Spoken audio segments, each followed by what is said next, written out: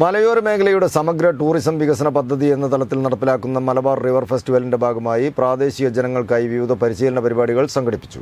Farm tourism കാർഷിക വികസനം എന്ന വിഷയത്തിൽ Kerala responsible tourism mission state coordinator K Rupesh കുമാറിന്റെ നേതൃത്വത്തിലായിരുന്നു പരിശീലനം.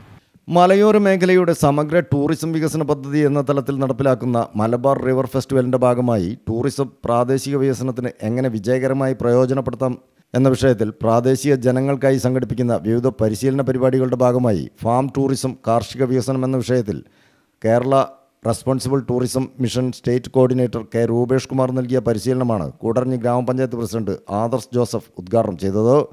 റിവർ ഫെസ്റ്റിവലിന്റെ ഭാഗമായി ഒമ്പത് തദ്ദേശ സ്വയംഭരണ സ്ഥാപനങ്ങളുടെ പരിധിയിലായി വിവിധ ടൂറിസം ഇവന്റുകൾ സംഘടിപ്പിക്കുന്നതോടൊപ്പം പൊതുജനങ്ങൾക്കായി ഫാം ടൂറിസം ഹോം സ്റ്റേ ഭക്ഷ്യ ടൂറിസം തുടങ്ങിയ വിവിധ വിഷയങ്ങളിലാണ് പരിശീലനം നൽകുന്നത്. കൂടർഞ്ഞി ഗ്രാമപഞ്ചായത്ത് കമ്മ്യൂണിറ്റി ഹാളിൽ വെച്ച് ഗ്രാമപഞ്ചായത്ത് വൈസ് പ്രസിഡന്റ് മേരി തങ്കച്ചന്റെ അധ്യക്ഷതയിൽ നടന്ന ചടങ്ങിൽ ജില്ലാ പഞ്ചായത്ത് മെമ്പർ ബോസ് ജേക്കബ് മുഖ്യാതിഥിയായി.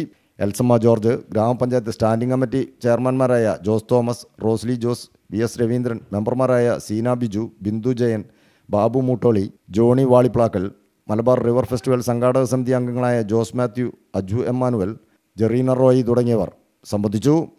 News bureau Koodaranji.